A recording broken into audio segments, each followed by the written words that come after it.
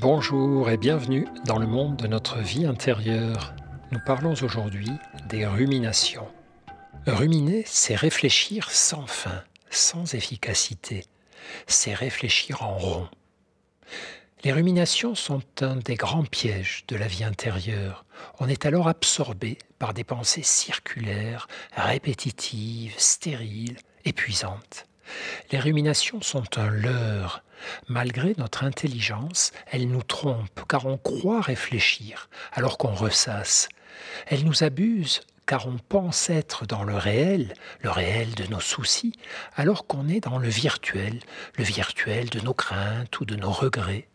Pourquoi nous laissons-nous piéger ainsi? Parfois tout simplement par habitude, la triste habitude mentale, prise depuis des années, de ressasser à l'infini nos problèmes. Parfois c'est parce que l'émotion de peur, de tristesse, de honte est très forte. La rumination signe alors une pensée prisonnière de ces émotions douloureuses intenses. Parfois encore, on rumine parce qu'on est impuissant à agir et que la rumination remplace l'action. On rumine parce qu'on n'a pas admis au fond que pour le moment, il n'y a pas de solution immédiate à ce qui nous tourmente. La rumination est un symptôme auquel on est très attentif en psychothérapie. Elle est associée notamment aux souffrances anxieuses ou dépressives dont elle est un des facteurs aggravants. C'est par exemple en leur apprenant à moins ruminer que la méditation aide les patients fragiles à ne pas tomber ou retomber dans la dépression. Et en attendant d'apprendre à méditer, que faire? Comme toujours, repérer le plus tôt possible que nous avons commencé à ressasser, car si le moteur ruminatoire est lancé depuis un moment, arrêter son mouvement sera d'autant plus difficile. Puis, se poser ces trois questions classiques en psychothérapie. Depuis que je réfléchis à ce problème, 1. Ai-je l'impression d'avoir avancé vers une solution? 2. Sinon, ai-je le sentiment d'y voir plus clair? 3. Sinon, enfin, est-ce que je me sens soulagé d'y avoir pensé?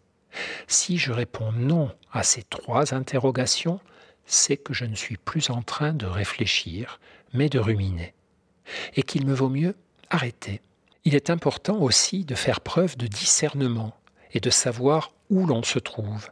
Suis-je encore dans le réel, c'est-à-dire est-ce que je raisonne à partir de faits concrets, ou bien suis-je parti dans un virtuel sans fin et sans réponse, le virtuel de mes angoisses, comment tout cela va-t-il finir, ou le virtuel des causes possibles à mes souffrances, pourquoi est-ce que tout cela m'arrive, à moi, maintenant? Dans ces moments, paradoxalement, le meilleur allié pour s'arracher à nos ruminations, ce n'est plus notre cerveau, mais notre corps.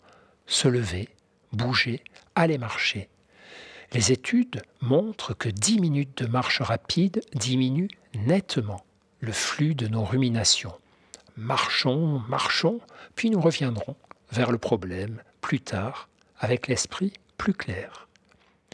Finalement, les seules ruminations que nous devrions tolérer, ce sont les ruminations positives, nous repasser en boucle nos bons souvenirs de la journée ou de la semaine.